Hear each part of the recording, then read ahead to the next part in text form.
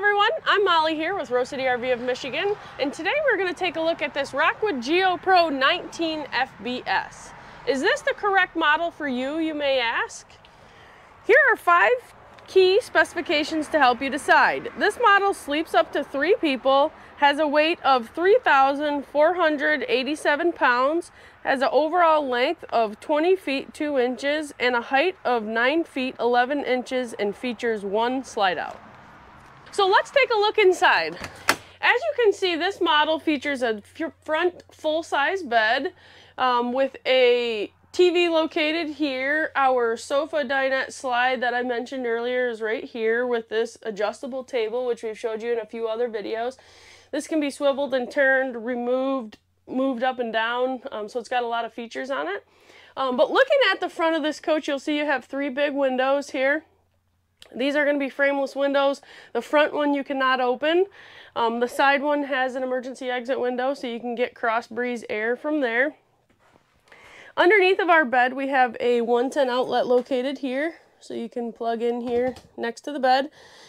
Uh, we have our furnace duct located there. That's where our, our furnace is going to be. And then our um, nice big storage drawer here. It's going to be nice and deep and that allows you to see also behind there. If you do need to get access behind there, you can remove that drawer. Next to that drawer, we have our World Friendship um, inverter controller. So that's just the remote page. That's just going to show you basically what your inverter is doing when you're using it, if you're using it when you're off grid. Below that, we have a furnace duct. Remember I said the furnace is in here, so the heat's going to come out of there, which is nice. And then underneath of our TV, we have an extra large storage area here. Then we have, like I mentioned, a 12 volt TV. This has JBL speakers, which is nice. This has um, a, is obviously a smart TV as well as being 12 volt, and it has a built-in radio. So that's a nice feature. You can play that in or outside, so no more external radio. And then we have a oven here, as you can see, with a three burner cooktop. This nice knife rack here that Rockwood does in pretty much all their models. Up top we have our Magic Chef uh, range hood, which got a light and a fan located here. And then we have a puck system light here with, um, right over top of the sink here, a single basin sink with this nice black fixture. Um, simple, does the job well. You can get underneath there with large pots and pans to wash your dishes. Little flip down here for dish, uh, dish soap or whatever you want to put there. Two nice big drawers as well.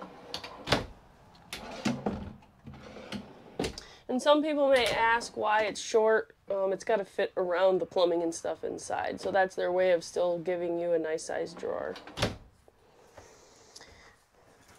And then under there they give you what little access that you have, you can still use it.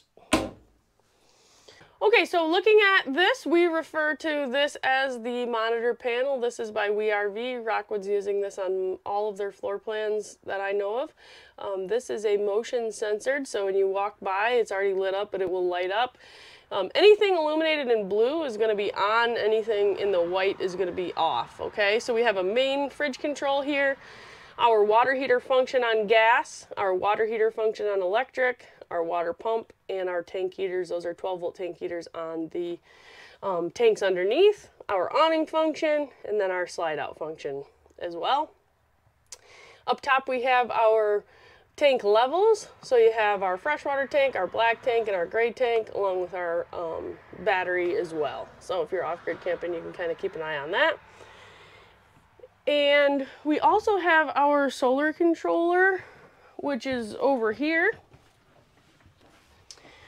Um, we don't have a battery hooked up, so it's kind of give us a little goofy reading right now. But um, this is what controls the voltage going to the battery. So this is going to take your solar, because this is equipped with solar. It's going to convert that down to the 12 volts that it needs, keep your battery charged. Um, that solar can come in around 20 volts. Um, and if you don't have a controller, that's just going to fry your battery. So you always want to make sure that you have this. Um, when everything's hooked up, this will also give you voltage readings, amperage readings, so you know exactly what's happening with that. And then our Coleman new thermostat right here. This is a nice feature. This is a new thermostat, so very simple. Um, you're gonna just click this, this middle, it's gonna illuminate, you click again, and it'll allow you to cycle through which function you want right there. LP and CO2 leak detector is located right there. Next to that is our 12 volt converter. That's where all of our fuses and our breakers will be located. And then up on the fridge, we have this nice little travel lock. And we have a decent sized fridge. These Geos used to come with a small gas electric, so this is definitely a, benefit to that with a full size freezer. Up top, we have our microwave. Works like a regular microwave, nothing really special there. Moving into the bathroom. This is a fairly large bathroom for a small trailer. You have one thing that Rockwood always does that I've always noticed that really nobody else does. They always position the toilet at the right angle. So if you're looking at that, the toilet's not straight with the wall where your knees would hit the wall. They angle it so you can actually sit in there, especially if you're a larger person. Now, in the bathroom we have our MaxxFan. As you can see there, those move a ton of air. If you're familiar with that, you'll be happy to have that. If you're not familiar with that, um, and you off-grid camp, that's definitely something you might want to consider. Those things move a lot of air. And then we have our corner shower here, which has got a uh, magnet on the um, curtain. So in the closed position, you can stick it just like that, and you can hear the magnet. And then in the open position. Now, one thing I wanted to show you in here is our Showermiser. Um, I think we've gone over that in a couple units, but there's a short little description here. You've got um, use mode, which is coming out of the head. You've got off, and you've got what we call recycle mode. Now, I'm not going to get into that in this video, um, but if you somewhat have an understanding, that's going to recycle the water so you're not wasting your fresh water or your gray water space. So um, if you're interested in that, we'll provide a link to a different video for that. Then we have some storage up here and our GFI outlet is located here. Little light switch here as well, and a towel bar with the medicine cabinet. So, let's move outside to see what our outside features are. So we'll start right here back at the rear section. As you can see, our awning arm is located right here, so that's not gonna be in the way of the entry door at all, which is a plus. Um, we have our solid steps here.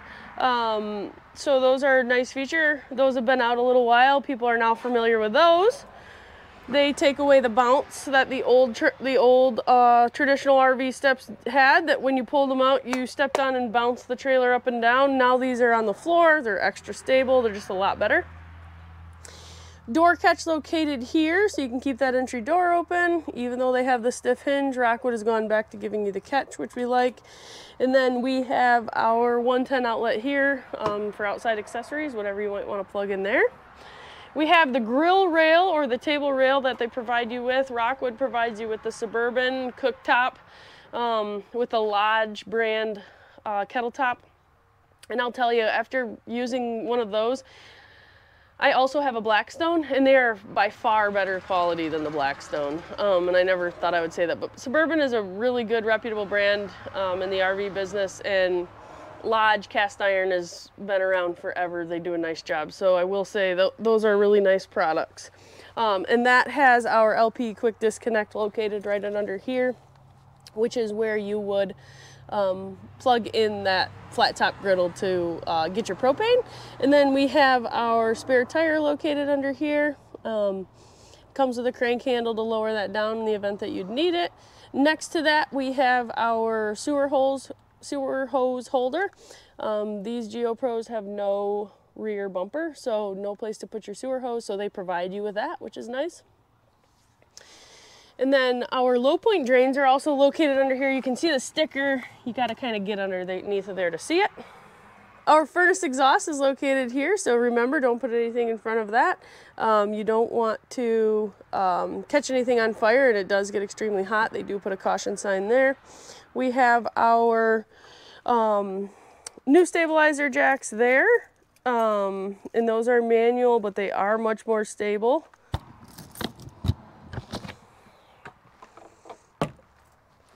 So looking through here, you'll see this is their pass-through storage that goes underneath of the bed. We have our table here that I mentioned goes up on that grill rail. We've got our griddle top in there. and just some accessories um, for the coach, power cord and stuff we have stored out here. And then uh, both your crank jacks. One thing that Rockwood does, and I'll show you on the other side, is puts magnets in their storage compartments. Um, it seems like such a, a dumb little thing, but I'll tell you, it is so handy and it's such a clean application. It keeps things up and away and, and out of your way, and so you don't lose them. So the event that you need it, you know right where to look. Moving on to the front, we have our power tongue jack located here. That's gonna have a little light on it there, up and down, and then our manual override. So again, if you need um, to manually override that, one of those jacks on those magnets, just take this plug off, pop it in there, and you can manually override. Underneath of here, we have our two 20 pound propane tanks. So you got plenty of propane there. And then we have a dual battery case located here that will fit two group 24 size batteries in there. And then up underneath of here, we have our battery disconnect, which is located right there. All the Rockwoods that I've ever seen always tuck those up underneath of there, underneath of the propane. Um, so if you're looking all over for that, look there. They kind of keep it hidden for a reason. Keeps it out of the weather. And then on the other side here,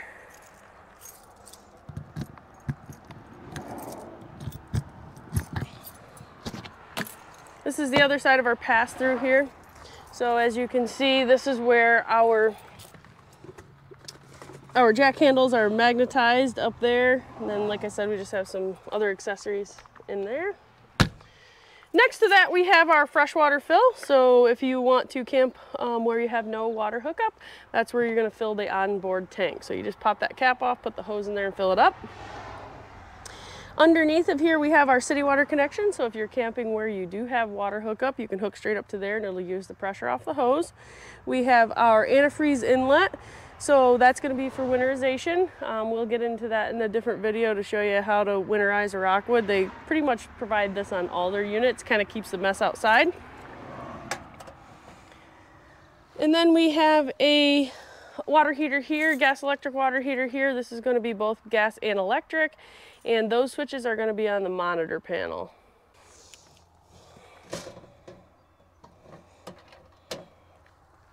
Okay, so underneath of here we have our large freshwater drain. That's what that white valve is. Um, so that will allow you to drain that fresh water extremely fast comparative to the old half inch cap that you just took off and let it drain the whole way home and it took the whole way home to drain. So that's nice. And then on the back of the coach, we have our outdoor shower. That's gonna give you hot and cold. That gives you a, a quick disconnect spray port there. Then we have our black tank flush. This is a really nice feature. It allows you to spray at a high pressure rate inside that black tank to help agitate and work up any debris that might be in there for dumping. Then underneath of here we have our gate valves, the gray handle being the gray water, um, which is gonna be like your sink and your shower. And then the big three inch with the black handle is gonna be for the toilet. And you'll drain both of those here at the dump station when you're done camping. And then moving on to the back, we have our two inch receiver that's actually tied to the frame so you can feel comfortable putting bikes and stuff back here without bending any bumpers or anything. That's a nice feature. And then we have our ladder located there so you can have easy access up onto the roof. And that's going to conclude our 19 FBS video. Um, please like and subscribe for more content and let us know if you have any questions. We'd be happy to answer them.